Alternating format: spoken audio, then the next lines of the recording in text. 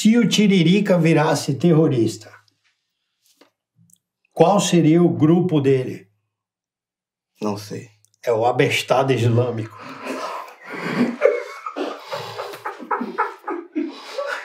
Essa é muito boa, viu? Obrigado.